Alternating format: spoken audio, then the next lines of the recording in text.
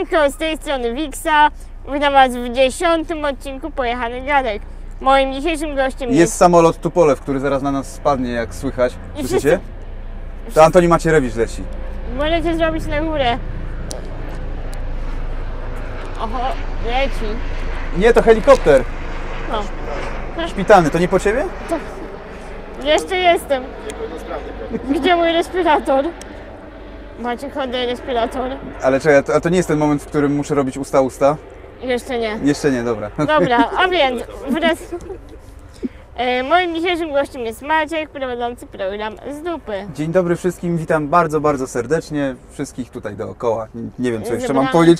Wzruszyłem się trochę i tak sponsowiałem. Piękny chłopiec, a więc e, powiedz mi, czego nie ma w telewizji, a jest w internecie, bo z tego co się orientuję, Tak z grubej rury przypierdalamy od razu, dobra. no No, jak, przeniosłeś się z telewizji właśnie na platformę internetową i powiedz czego w niej nie, nie było i co odnalazłeś tutaj. Wiesz co, przede wszystkim zabrzmi to tak w chuj klisze, nie? Ale no, to jest prawda po prostu, że szczerość jest w internecie, której nie ma w telewizji. Niestety times they are changing, jak to śpiewał Bob Dylan, bo się czasy naprawdę zmieniają i to, co było w telewizji jakieś 5-6 lat temu, takim apogeum i, i takim już total, na totalnym hypie, to to przechodzi w tej chwili do internetu i ci twórcy stają się powoli produktami, produktami y, jakichś marek, y, produktami, y, sztucznymi tworami. Do tej pory, wiesz, liczyła się taka szczerość w tym internecie, taka prawdziwość, że wiesz, mógł być ktoś na wózku i robić program y, i tak dalej. Teraz by cię nie skastingowali, po prostu by cię odrzucili na całym wstępie. Patrzyliby z góry do dołu, Tyl- przebieg. Tak, dokładnie, przebieg, czy była bita i tak dalej. Spokojnie, nie bita, na Allegro można wystawić. E, e, i, ale tak niby się trochę śmiejemy, ale tak trochę jest, wiesz, że zaczęli się ci, ci twórcy bardzo ograniczać i zaczęły się tworzyć takie mm, konglomeraty twórcze, że nagle jedni twórcy zaczynają tworzyć inne programy, w których nawet nie biorą udziału, w których nawet nie widzą na oczy, w których nie występują, na które mają generalnie wyjebane. E, Chodzi tylko o jakby pozyskiwanie hajsu, żeby to miało oglądalność, żeby to miało wyświetlenia. Oni sobie tam to podreklamują i tak dalej. I to jest model telewizyjny. Ja nie twierdzę, że to jest zły model, bo biznesowo jest to świetne dla tych twórców. W ogóle, no Jezu, no to jakich twórców? No chodzi o Abstra na przykład, między innymi, nie? Chłopaki biznesowo zajebiście sobie pod tym kątem radzą, o swój kanał dbają, natomiast te inne kanały, one nie mają, nie mają, te, mają tak ten rys telewizyjny, którego ja starałem się strasznie unikać, z którego ja odszedłem właśnie z telewizji, bo mnie zaczęło to wkurwiać totalnie, w której nie miałem, nie miałem, wiesz, cicho tam się zara, Daj ją! no, e, w której nie miałem e, jakby tej możliwości wolnej ręki, nie dawali mi wolnej ręki, nie dawali mi możliwości robienia tego, co chcę. E, I to był ten problem, e, który, który był dosyć grubym problemem. E, i, I jeszcze jedna taka dosyć istotna rzecz, w telewizji były dosyć mocne, dosyć mocno zarysowane zawsze podziały.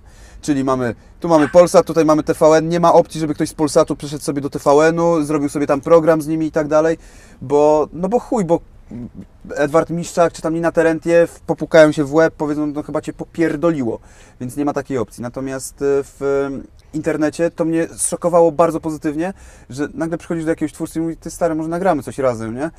A on mówi, nie, no pewnie, nie ma sprawy, wiesz co, ja mam mikrofon, ja mam coś tam, a ty masz co, ja mam taki obiektyw i tak dalej, dobra, to dawaj, zmiksujemy, zrobimy fajną rzecz. I ja tak robiłem, krosowałem się z twórcami nie dlatego, że tak jak w tej chwili się krosujesz z kimś, dlatego, żeby mieć wyświetlenia, dlatego, żeby ktoś o tobie powiedział, dlatego, żeby gdzieś tam się wybić, bo tak bardzo się często robi, że są m, młode kanały, które wiedzą dokładnie, jak przypierdolić i robią krosy po kolei z każdym topowym twórcą, tylko po to. Ja zawsze się krosowałem dlatego, bo miałem pomysł na kogoś, bo mi się podobał ktoś do sketchu, nawet jeżeli ktoś miał zły PR, o kimś źle mówiono i tak dalej, miałem na to wyjebane, bo ja lubię po prostu pracować z ludźmi i robić różne fajne rzeczy. Tak jak na przykład teraz, nie? Oczywiście tutaj chodzi o to, że muszę podbudować swój PR, więc się pokazuję z niepełnosprawnym. Czekaj, zrobimy, zrobimy zdjęcie tutaj, bo potrąciłem ostatnio na pasach gościa, więc zrobimy zdjęcie, będzie ok. Cyk. Dobrze, czyli podsumowując plusy i minusy obu platform. Plus i minus to jedyne co widzę. Pozdrawiam. A nie, już nie pozdrawiam, sorry Piotrze. No niestety. E, plusy i minusy obu platform. Wiesz, telewizja przede wszystkim to są pieniądze, grube pieniądze, czego jeszcze, to jest też betonowe myślenie też e, póki co. E, Reklamodawcy są dalej przekonani, że jak będą uderzali w telewizję z reklamami, to te reklamy naprawdę się fajnie rozejdą. A robią taki beton, co widać w blokach Polsatu czy czegoś tam. Znaczy, ja nie oglądam telewizji od bardzo dawna, tylko zdarza mi się sporadycznie trafiać na jakieś poszczególne kanały i właśnie przez to żałuję, bo nie widzę tych spierdolonych reklam. Czasami czerpałem tak fantastyczną inspirację z tego gówna, które leci w tych reklamach. Za to oczywiście mogę te reklamy pooglądać u różnych twórców internetowych, którzy e, równie dobrze potrafią je spierdolić bardzo często. Czyli Czyli wiesz, tu e, nie da się powiedzieć, że tu są plusy i minusy, bo e, internet jest pojemny jak Sasha Grey. Jest naprawdę, tam się tyle zmieści, że hej, o Jezu, jeszcze rym do tego. E, What the fuck? E, no nie być tylko raperów. no dokładnie, ty, no kurwa, ja mam większe wyświetlania niż niektórzy raperzy, kurwa, na tych swoich tych, nie, na, na swoich piosenkach. Nie, nieprawda, właśnie na piosenkach mam najni, najmniejsze. Kurwa, nie rozumiem tego. Czemu mam na piosenkach najmniejsze? Dobra, nieważne. Abstrahując. Em, to jest tak, że internet jest na tyle pojemną platformą i rozciągliwą, że można go przekształcić tak, jak się chce. I on się w tej chwili przekształca bardzo w model telewizyjny, który, który był obecny ci reklamodawcy teraz też tam, też tam pójdą, ale to się zamieni dokładnie to samo, więc będzie potrzebne kolejne nowe medium dla młodych ludzi, żeby mieli jakąś odskocznię, bo młodzi ludzie po prostu zaczną tym powoli żygać. Dobrze, a, Lubisz dokończać zdania za innych, co? a lubię przerywać zawsze w komentarzach. Ważne, żeby skończyć Jest. razem, co? Co prawda, to prawda. Pisząc scenariusze, y, bardziej stawiasz na takie spontaniczne pomysły, czy siedzisz nad kartką, czy przed komputerem godzinami i sobie rozkminiasz, a tutaj to, tutaj tamto. Bardziej zależy mi na tym, żeby na przykład jak ustawiamy kadr, żeby słońce nie padało na połowę twarzy. Tak jak... Pozdrawiam Zrobimy, chłopaków. zrobimy, Bo właśnie przestawialiśmy samochód, żeby słońce nie padało, ale to słońce jest no nieprzewidywalne. Nagle tę stronę zaczęło iść dziwne, nie? że zrobię w czarno-białym i sobie zamarzę pół twarzy. E, słuchaj, ja przede wszystkim wychodzę z kilku założeń jednocześnie, co jest e, trochę paradoksalne, ale tak jest. No, ja z jednej strony uważam, że najlepsza improwizacja to jest napisana improwizacja i to się strasznie dobrze sprawdzało w takich rzeczach jak Whose Line Is It Anyway? To są takie, mm, jest, był taki program w telewizji w Stanach e, i w Wielkiej Brytanii, i też w Australii, no i w paru innych miejscach. I to była improwizacja ewidentnie napisana. Wcześniej były napisane te rzeczy, tak samo bitwy freestyle'owe. Jak są, chłopaki mają już poustawiane rzeczy, które mniej więcej będą tam napierdalać, prawda? E, że mają już takie puncze wymyślone i tak dalej, tylko potem dopisują to do konkretnej danej sytuacji. To też oczywiście jest improwizacją, ale jest to w jakiś sposób wcześniej przemyślana improwizacja. I e, z jednej strony e, rzeczy, które robimy czasami są totalną improwizacją, na przykład przyjeżdżamy na plan, ja też właśnie wywodzę się z telewizji, gdzie, e, gdzie zdarzało mi się opierdalać kierownika produkcji, że zamiast e, pepeszy, która miała być, bo mówiliśmy o II wojnie światowej, przywiózł kurwa kałacha, którego wtedy nie było. I e, zdarzało mi się go opierdalać za to, natomiast teraz jak robimy ma być pepesza, a Bartek zapomina o niej i przywozi patyk, to wykorzystujemy ten patyk i jest jeszcze lepiej, wiesz? Bo tu chodzi też o kreatywność jakąś na miejscu, e, która, e, która też sprawia, że można zrobić fajne, zupełnie inne, improwizowane rzeczy. Natomiast, żeby nie było, scenariusz dużego odcinka z dupy to jest około 13-15 stron napisanego tekstu. I to jest napisany odcinek, który piszę w ciągu jednego dnia mniej więcej.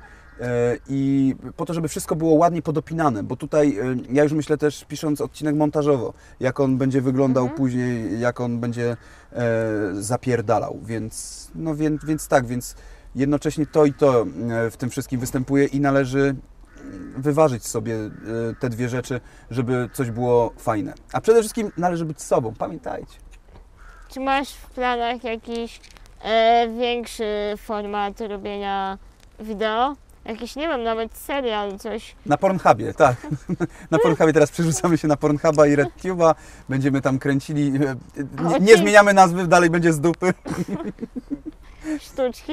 Tak, sztuczki z dupy, tak. Magia e, e, ten, XYZ. Czarna brązowa magia. Biało-brązowa magia. Sokoła zapraszamy i Marysię starostę jeszcze na fiuta, na fita. No, kurczę blade. Za dużo tego. E, Wiesz co? Ja generalnie zawsze jestem gościem, który chce robić rzeczy, które mi sprawiają radość e, i które mi się podobają. E, Ja to też widzę u twórców, że oni często na siłę coś robią, dlatego, bo to jest modne, więc teraz wejdę sobie kurwa do basenu z milionem kulek czy coś tam. czy, czy coś tam, a ja, a ja chcę Ale robić... te kulki to będą związane z tym, co wcześniej? Tak, tak, to są te kulki gej, e, gejszy, znaczy się, oczywiście, tak. Kulki gejszy. O, a to by były dobre. Basen e, 5 milionów kulek gejszy i, i taki rezi tam pływa. To, by- to by było całkiem niezłe. Rezi smolasty. E, Pozdrawiam. I żabson. Dobra, za dużo już tego. Wrony kraczą tutaj po prostu. Oj. No ale się osrają. Właśnie tak. E, no, em, ja planuję, może nie tyle, że planuję, ja w życiu chciałbym robić różne rzeczy. Na pewno chciałbym zrobić e, film pełnometrażowy, na pewno chciałbym zrobić serial, na pewno chciałbym zrobić serial animowany. Mam, e, mam do tego możliwości, mam do tego predyspozycje. Tylko jednej kurwa rzeczy nie mam. Czasu. Nie mam czasu, nie potrafię się rozdwoić, a już naprawdę robię, robię wszystkimi członkami dosłownie. Wszystkimi na, na pięć członków działam, że tak powiem, e, jednocześnie, więc, więc jest to bardzo ciężkie dla mnie, żeby to zrobić. No, a chciałbym e, na pewno pójść do przodu i robić więcej. Nie?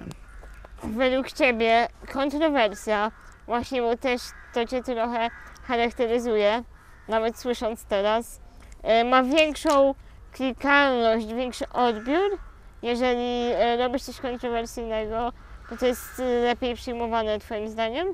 I tak i nie. To jest kolejny, wiesz, paradoks tego wszystkiego, e, bo ja jestem osobą, która nie wychodzi z założenia, że ja muszę być kontrowersyjny na siłę. Ja po prostu jestem super sobą. I ja mam takie żarty, ja nic nie udaję, niczego nie muszę komukolwiek udowadniać. Natomiast są ludzie, którzy jakby na tym bazują tylko. Weźmy takiego popka chociażby, czy 20 lat wcześniej, dwie dekady wcześniej nagły atak spawacza, gdzie było bazowanie właśnie na kontrowersji, że zróbmy coś, żeby te dzieciaki się obsrały w tych podstawówkach, żeby śpiewały ZHP to kurwi i pedały, albo prawdziwa dama to twoja mama. E, I, e, i na, tym to, na tym to troszeczkę polega u nich, że zróbmy to, żeby to było kontrowersyjne, e, zróbmy no, no, tekst pizda nad głową, śpiewam pizda nad głową. No, gdzie tu jest jakikolwiek większy przekaz niż, niż e, próba bycia kontrowersyjnym e, per se. E, I ja staram się absolutnie od, od tego odchodzić. Oczywiście zdarza mi się korzystać z rzeczy, które ja sprowadzam do granic absurdu, czyli jeżeli chcę pokazać coś, że, że jest aż przesadzone, to specjalnie to przesadzam razy 200. Dorzucam tam bezdomnego ze zraczałą dupą, cieknącą spermą i tak dalej. Więc jakby jest to forma pewna, jest to, jest to pewna forma, formuła, której używam reductio ad absurdum, ale jest to y, w pełni świadomie y, wykorzystywane.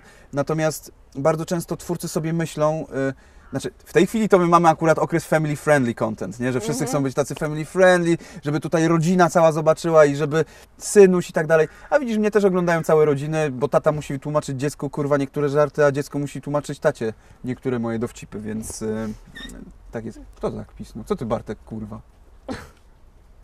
Poderwać chciał dziewczyny. Tak? A, Bartek. Jak tam? Ile już meczy na Tinderze w Siedlcach, co? Cyk, pię, pię. Czy na Grinderze jesteś Z- znowu?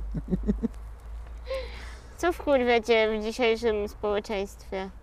Strasznie głupota. Głupota mnie wkurwia w tym społeczeństwie. Wiesz, te wszystkie ruchy płaskoziemiczne, te wszystkie ograniczenia umysłowe, ten ruch... Niepełnosprawności? Niepełnosprawność mnie tak wkurwia, oni się wpierdalają wszędzie, zajmują. Ja tu mogłem sobie stanąć, a tu jakiś bus kurwa dla niepełnosprawnych stoi na dwóch miejscach w dodatku dla niepełnosprawnych. No to, to jest e, słabe. E, Antyszczepionkowcy. E, e, chyba nie dostałaś tego od szczepionki, co? No dostałam. Oczywiście. Ojciec mi chlor wcisnął. tak, tak, i autyzm jeszcze wszczepił. E, no i wiesz, i to jak ludzie bardzo nie myślą, jak zawierzają często internetowi, gdzie wiesz, gdzie, gdzie nagle mówią, ja nie będę słuchał lekarzy, bo w internecie tam na YouTubie powiedział gość, że te szczepionki wywołują autyzm, to ja nie szczepię dziecka, więc wiesz. To, to, to jest strasznie mnie wkurwia głupota ludzka i bardzo nie lubię też agresji mm, względem innych. E, Wiesz, ja, ja rozumiem, że ktoś może kogoś, nie wiem, nie tolerować, może nie tyle, że ktoś mu się nie podoba i tak dalej, ale em, agresja, zarówno słowna, jak i fizyczna względem kogoś, dlatego, bo jest inny, jest dla mnie czymś strasznym, kurwa. Nienawidzę po prostu takiego podejścia.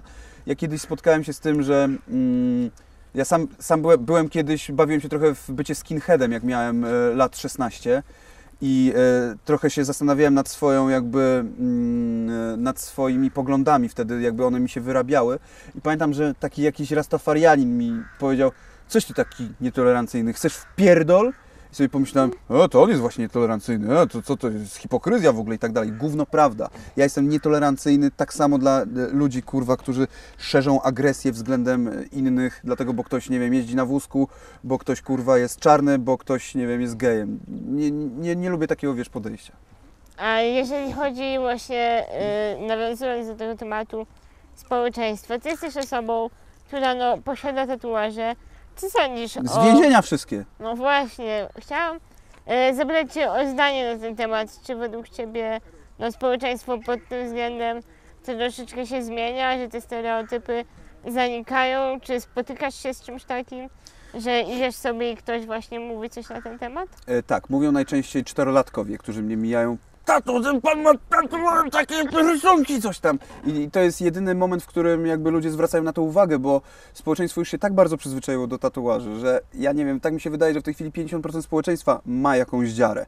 E, już coraz bardziej popularne są dziary na mordach, co widać po niektórych raperach, i nie tylko za granicą, ale w Polsce. Dzisiaj właśnie zresztą czytałem artykuł, że tatuaż na mordzie już jest oznaką bycia normikiem, że jesteś gościem, który jest, że, że to już jest e, za granicą tak normalne, e, że aż wręcz nudne. E, I pozdro Kłebo, nie, to nie do Ciebie atak, mordo, e, dosłownie mordo.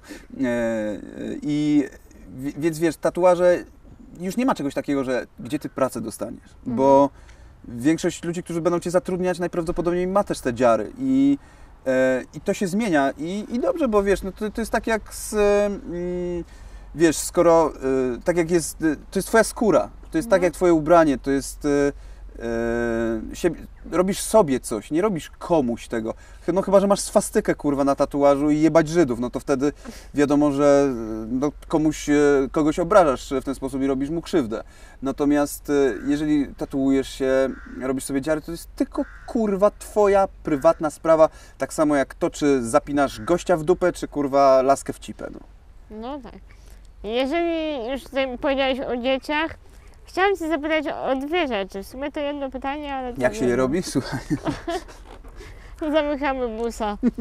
E, Słuchaj, to jest, ten, to jest to fake taxi tak zwane? nawet nie wiesz, co się dzieje w pace. No, no mam tatuaże, więc wiem, co się dzieje w pace. Ej, kurwa, do dzisiaj mam takie szwy tutaj na dupie. Rozrywka pełną gębą, dosłownie. Dosłowna rozrywka była. E, Jeżeli chodzi o Ciebie za mało lata i Ciebie teraz, jakiego największego przypału doświadczyłeś w tych dwóch okresach Twojego życia? Będąc nastolatkiem czy małolatem i teraz. Przypał, kurde, ciężko mi to jakby zdefiniować. Twoje życie to przypał. Ech, Ja lubię swoje życie i nigdy nie żałowałem żadnych decyzji, które podjąłem, ani tego, co się tam stało. Eee, Parę razy oczywiście chciałem się zabić, jak to każdy nastolatek, wiesz, bo dziewczyna cię rzuciła po 10 miesiącach, sobie myślisz, a może skoczę z tego balkonu z ósmego piętra, ale sobie myślisz, nie no, kurwa, pojebało cię, kurwa, jaki debil. No i to, pamiętajcie, kurwa, nie popełniajcie samobójstw, to jest najgłupsze, co możecie zrobić sobie i, innym, kurwa. Em, no to tak, jeden przypał miałem, e, raz ukradłem te, tego rogalika Seven Days, e, byłem na obozie koszykarskim, byłaś kiedyś na obozie koszykarskim? No pewnie, co roku pewka, nie? jeżdżę. Teraz zimę na narty jadę. Ale pamiętaj, że znaczy, inaczej chyba definiujemy słowo wsady. Okej. Mm, e, No to na obozie koszykarskim byłem, jak miałem tam lat 13, myślałem wtedy jeszcze, że będę kurwa koszykarzem, chciałem grać w NBA, miałem być pierwszym Polakiem kurwa w NBA, no chuj nie wyszło, bo zacząłem palić papierosy. E, I e, pamiętam, wszyscy na tym obozie kradli kurwa w sklepiku, który tam był. Ja stwierdziłem, no kurwa, nie będę gorszy, wszyscy starsi kradli, no to ja też sobie coś tam ukradnę. I ukradłem rogalika.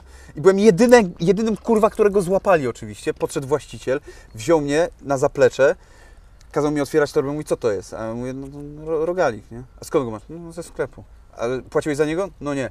I jeb mi zapierdolił strzała w ryja, nie? Tak z całej siły, kurwa, ja po prostu nie wiedziałem, co się dzieje, jakby mnie pociąg jakiś rozjechał, nie? Mówi, wypierdalaj i mnie kopnął jeszcze w dupę, nie? Na odchodnym. Dzisiaj, gdyby była taka sytuacja, to poszedłby siedzieć za to, za coś takiego, za uderzenie 13-letniego chłopaka. Przynajmniej ci dupę przygotował od mało lata. Dokładnie, już kurwa, już było, już ten moment, w którym ten jego but utknął mi w odbycie, sprawił, że już się niczego nie bałem. E, I wszyscy mówili, ej stary, co to jest, nie? A ja mówię, nie, nie, nic, to takie tam zaszłości. E, Pamiętniki z wakacji. no trochę tak, no to było w wakacje dokładnie. Było tam pamiętniki, oj, były pamiętniki. E, di, diary, e, vacation diary, a właściwie diarrhea później. Nie, czekaj, bo już zbaczają moje myśli na zbyt dziwne Przypał tory. teraz był za mało lata i teraz jako dorosły. Czy zrobiłeś coś takiego? Nie, no chyba nie, wiesz. Ja... Znaczy może po pijaku, kurwa, ale nie pamiętam. Ale sikanie z mostu to nie są przypały, nie? Jakieś... No nie, nie, kurwa, no naprawdę nie, nie przypominam sobie, żebym... Zdarzało mi się kiedyś na przykład... y, Po, pobiłem się z moim kolegą, bo e, szliśmy ulicą i ja wyłamałem lusterko w samochodzie komuś. Byłem napierdolony totalnie, to już było, że już byłem starszy, miałem z 20 lat. Czyli 14 lat temu. Ja pierdolę, jak ten czas leci. E, A on ukradł felgi z samochodu jakiegoś, nie? Jakieś alufelgi. Ja mu powiedziałem, ja pierdolę, jesteś złodziejem. Mówi, a ty jesteś hipokrytą, kurwa, przed chwilą złamałeś komuś lusterkę. Ja mówię, ale ja nie czerpię z tego materialnych korzyści. Więc wiesz, jakby e, definiowanie jakby samego aktu wandalizmu względem e, kradzieży, no jest, jest to głupie trochę porównywanie, ale ja miałem wtedy jakieś takie wartości wpisane sobie. Nie uważam, że to był przypał. Serdecznie przepraszam osobę, której złamałem wtedy lusterko. Mateusz, po wywiadzie odstawiasz samochód. Z- I, I dziewczyny, którym złamałem serce, też przepraszam. Eee, ale jestem taki romantyczny, a wszystko to jest fake love. Widziałam wczoraj. Co, widziałaś Smolastego ten, parodię? Tak. Smolasty mi napisał na Instagramie. e, Buźka z, z tymi, z płaczącymi tymi. Nie? Ale było śmiesznie. No ja wiem, że było śmiesznie, bo ja robię tylko śmiesznie. Not gay, nie jestem gay. A ten pies jest gay? Nie, nie jest gay. Mm, To jest dziewczynka. To jest gejem w jakiś sposób. Zadam ci pięć shotów. Pięć to nie muszę pić z tego kubka, w którym masz e, alkohol. Nie Ona, ona, właśnie, a czy jest jakaś ustawa, że nie możesz prowadzić po alkoholu? Jeszcze mnie nie złapali. Okej, dobra, they see me Aczkolwiek- rolling. Raz mnie złapali, jak jechałam pod prąd z czterema browarami na plecach po głównej ulicy. Okej, a ale- miałaś takie rurki podpięte tutaj, żeby je pić? Tak to by było zajebiste. Nie, były zamknięte, ale się śpieszyłam, bo było gorąco i ja musiałam szybko dojechać na miejsce docelowe i pojechałam sobie lewą stroną, bo nie chciało mi się zjeżdżać na prawą i podjechali panowie policjanci i na mnie nakrzyczeli. Aha, okej. Kurde, ale by było zajebiście, gdyby ci straż miejska założyła blokadę na koło. Jezu, jakie to by było super. Ja, ja bym chciał zobaczyć ten absurd w Polsce po prostu, kurwa, bo ten kraj składa się właśnie z takich absurdów najczęściej. Ale no. odpadały mi koła na ulicy czasem, Odpadały ci koła, okej, no więc różnie bywało. Czyli odpiłaś wrotki, można powiedzieć, co? Na rolkach jeździłam też. Tak? Tak, są nawet zdjęcia na Insta. No proszę. Brałam udział w night racing. Naj- Jesteś pewna, że to były rolki? Na pewno. Nie, to Night były wrotki, które dostałam na 20 urodziny od Reto, którego pozdrawiam. Pozdrawiamy Reto i jego oko jedno, nie, nie, dwa, dwoje oczu. On ma, tak, on ma takie bielmo, nie? Tak? Kurde, biedny chłopak. Kurczę, strasznie mu współczuję. Będziemy zbierać na ciebie kasę, kochany. Nie, ale Reto pozdrawiam, bo kiedyś... Dostałam maila. Dostałaś maila od, Yy. od Reto? Czy pieniądze z, od jakiegoś fana Reto, czy pieniądze z wywiadu, z wyświetleń będą przeznaczone na operację moich nóg i jego wzroku. Okej. Okej, no to dobrze, to dobrze. I jego talentu. Nie, przepraszam, nie chciałem, bo Reto naprawdę fajne rzeczy robi. Ja jestem taki złośliwy, wiecie, roastowo, nie? Tak, już zauważyłam. Gdybyś był prezydentem Polski, co byś zmienił, jakie byłyby twoje hasła wyborcze? Nie gdybym, tylko kiedy będę prezydentem Polski. Z Robertem Biedroniem, moim ucho- ukochanym prezydentem Dubska, e, Słupska, e, będziemy rządzili w tym kraju. E, jakie moje, słuchaj, ja mam taką postać, którą kreuję, która się nazywa Mariusz Wypierdalaj. I głównym hasłem wyborczym e, Mariusza Wypierdalaj jest nie podobać się w Polsce, to wypierdalaj. E, I e, jakby tę postać stworzyłem 3 lata temu, podczas, e, 4 lata temu, podczas wyborów samorządowych. Teraz, jak dobrze wiemy, wybory samorządowe powróciły i e, Mariusz e, chciałby kandydować. Natomiast wiesz co, ja sobie tak myślę serio, że ja kiedyś, e, bo naprawdę wkurwia mnie to, że ja nie mam na kogo głosować w tym kraju. Że zarówno po prawej, jak i po lewej stronie są debile że złodzieje to wiadomo, że zawsze są i zawsze będą i nieważne, ja mogę obiecać, że jeżeli, to, to jest moje postanowienie, że będę kradł jawnie, że będę mówił ile ukradłem pieniędzy. E, To wtedy jako prezydent będę, czy tam premier, czy ktokolwiek będę mógł powiedzieć ile ukradłem pieniędzy i wtedy nikt się nie będzie mógł do mnie przypierdolić, bo hej, no mówiłem, że tyle ukradłem pieniędzy, powiedziałem, że będę kradł, jak każdy, kto się dop, do, dopnie do koryta. Przynajmniej będziesz prawdomówny. Dokładnie, będę prawy i sprawiedliwy. Hmm. E, e, więc wiesz, e, ja sobie myślałem kiedyś, żeby zrobić rzeczy, które wkurwiają w Warszawie, a później e, kandydować jako prezydent e, na prezydenta Warszawy i te podpunkty odhaczać. To nie głupie.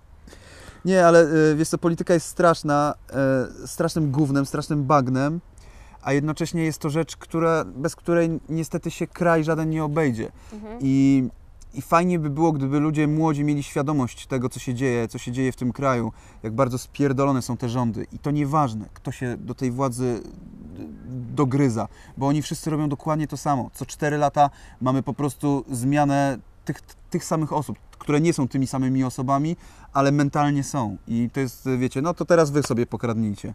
I to jest takie przybijanie piąteczki i mi się to strasznie nie podoba i myślę, że można coś z tym zrobić, e, tylko trzeba dać ludziom alternatywę, żeby mieli na kogo głosować i, mm, i żeby nie było tak, że nie mam na kogo głosować, to nie idę na wybory, bo potem kurwa się budzą z ręką nawet nie w nocniku, tylko w dupie bezdomnego. Tak niestety jest. Tak jest. Jaki jest twój ulubiony superbohater? Oj, e, to sporo, bo wiesz co, bo ja, ja to wol, wolę antybohaterów, takich villains. Może E, być.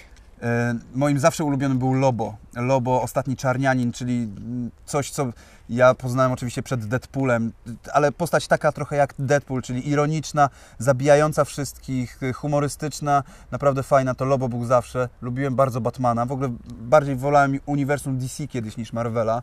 Patrząc na te spierdoliny filmowe, które teraz DC wypuściło w porównaniu do Marvela, no to się nie umywa. Nie umywa. E, i, e, ale no to tak, nie, nienawidziłem Supermana. Nie, nie, nie, nie, bo ja nienawidzę kurwa harcerzy, nienawidzę prawych, moralnie nieskażonych ludzi, bo wiadomo, że tacy po prostu nie istnieją. A jeżeli ktoś, e, e, ktoś, wiadomo, że to jest postać komiksowa oczywiście, ale jeżeli to przełożymy na, na Rzeczywistość. Dokładnie. Jeżeli przełożymy to na rzeczywistość, to jeżeli ktoś jest taki jak załóżmy Superman, to znaczy, że ma coś strasznego kurwa do ukrycia i pewnie zgwałcił jakieś dziecko. Dobrze. E, Co najgłupszego w życiu było Ci dane usłyszeć? jak zadzwonił do mnie ktoś i powiedział, cześć, jestem niepełnosprawną e, youtuberką i... nie, Pole żartuję. na pojechane gadki. Pojechane gadki? Co? Pojechane gadki to są wtedy, kiedy kurwa obstrasz sobie majty i masz taką nartę. To są pojechane gadki. Kupą. e, nie, wiesz co, najgłupsze rzeczy e, to serio wystarczy e, posłuchać sobie, co mówią w Sejmie. To, wystarczy to sobie odpalić, to masz zapas głupich rzeczy Na dekadę. na dekadę, czy nawet więcej. No. Trzech ulubionych aktorów. Aktorów Mhm. Hmm. Bardzo ciekawe. Słuchaj, e, to się zmienia oczywiście, wiesz, z biegiem lat, z biegiem wydarzeń i tak dalej, ale zawsze moim takim ulubionym, ulubionym aktorem, który był dosyć niszowym aktorem, e, to był Gary Oldman. Uwielbiałem Gary'ego Oldmana i w Drakuli, Brama Stokera, czy tam znaczy Francisa Forda Coppoli e, i, w, e, i oczywiście w Leonie Zawodowcu. No w każdej roli, w której Gary Oldman był, grał też Sida, Sida Viciousa z Sex Pistols. W każdej roli, w której był, był po prostu zjawiskowy. E, Antony Hopkins dla mnie był też zawsze przekurwa kotem, przekozakiem, przenajlepszym aktorem na świecie. E, czyli tak brytyjsko trochę tutaj jadę. Z polskich ceniłem strasznie Wojciecha Przoniaka. Znaczy on żyje, więc spokojnie. To nie jest ten, że, że, że już go nie cenię. E, i, I teraz jak tak sobie myślę, to ciężko mi wyciągnąć. Wiesz, sztampowo Le- Leonardo DiCaprio, który zawsze był uznawany po prostu za ładnego chłopca, a który z biegiem lat zaczyna wyglądać jak Jack Nicholson, 100%. Zresztą Jack Nicholson też jest świetnym aktorem. Jest po prostu taka mnogość tych świetnych aktorów, że, no, że szkoda gadać, ale Leo, Leonardo DiCaprio nie zagrał w kurwa złym filmie. Christopher Walken, uwielbiałem. Kiedyś Robert De Niro, Christopher Walken, Al Pacino, cała, cała obsada w ogóle Martin Scorsese, wszystkie, wszystkie osoby, które Martin Sco- Scorsese reżyserował. E, Ciekawe, czemu sami mężczyźni. Czemu sami mężczyźni? No. Wiesz co, bo y, aktorki jakby... Je, aktorki są, z- jeżeli myślisz o zajebistej aktorce, to jedyne co masz w głowie to jest Meryl Streep. I to jest, y, i to jest taka rzecz, że ona się utwier- utwierdza gdzieś tam w, w głowie i jedyne co sobie myślisz to Meryl Streep. Poza tym zapytałaś aktor, a nie aktorka. No rację, mój błąd. E, e, I kiedyś byłem zakochany w Angelinie Jolie, ale byłem totalnie zakochany w Angelinie Jolie i też uwielbiałem ją aktorsko, jak grała w przerwanej lekcji muzyki, e, czy też w Hakerach. W Hakerach to ją tam w ogóle pokochałem. I jeszcze był taki jeden film, ale nie pamiętam, ona w takiej skórze chodziła. To, to, to, to, to było zajebiste. Natomiast no, Meryl Streep jest klasą samą w sobie i w każdym filmie, w którym zagra, no, no, no jest przedebeściara. Ja teraz e, strasznie chciałem zobaczyć e, wybór Zofii, którego nie widziałem nigdy e, i który jest moim błędem, że nie widziałem, a jest to ponoć jej najlepsza kreacja, bo, Mhm. bo gra Polkę. Wow. Twoje motto życiowe, to ostatnie pytanie. Nie bądź chujem. To jest moje motto życiowe, nie bądź chujem, po prostu. Dobrze, pięknie. Ulubiony raper? E, z Polski i tak, z, z po- Polski. z Polski, z Polski. E, jest to, kurwa, no jakby tak patrząc obiektywnie na wszystkie te rzeczy, jest to magik po prostu i generalnie mm, e, wszystko, co było w Kalibrze, Paktofonice, Pocahontas, e, e, bardzo cenię i bardzo mi się zawsze podobało. Ja w tej chwili strasznie lubię, no oczywiście mogę powiedzieć Łona też, bo uwielbiam Łonę, mogę powiedzieć o STR, no, no, no jest mnóstwo, tych, tak samo ci młodzi. Teraz na przykład Koza jest bardzo fajnym raperem, albo cały te LTE Boys y, i tak dalej, czyli y, Shafter, Młody Skiny Mhm. e, i tak dalej. To są naprawdę wartościowe chłopaki, które być może coś zawojują. Natomiast no tak jakbym miał powiedzieć ulubiony, który miał dla mnie najlepszego skilla, który po prostu rozpierdalał wszystko i który udowadniał ludziom, że można zrobić prawdziwy, zajebisty, elokwentny rap w tamtych czasach, w których świetnym przykładem było, jak e, Kaliber zrobił piosenkę z Wz- Wzgórzem Japaczy i w ogóle z tą sceną kiele, kielecką zrobili język polski. I tam jest tak ogromna różnica pomiędzy tym, jak rapuje tamta scena, a jak rapują e, Joka, Ab, e, Dab wtedy, y, bo chyba on był mm, Abradab, już był, czy Mhm. jeszcze nie? Chyba jeszcze Nie. nie. Chyba był Dab e, i Magik. To jest coś niesamowitego, jaka jest różnica, jaka jest kolosalna przepaść pod względem wirtuozerskim, zabawy słownej i tak dalej. Dobrze, dziękuję Ci bardzo za naszą rozmowę. Ja również Ci bardzo No. dziękuję. I będziemy widzieć się w następnym odcinku.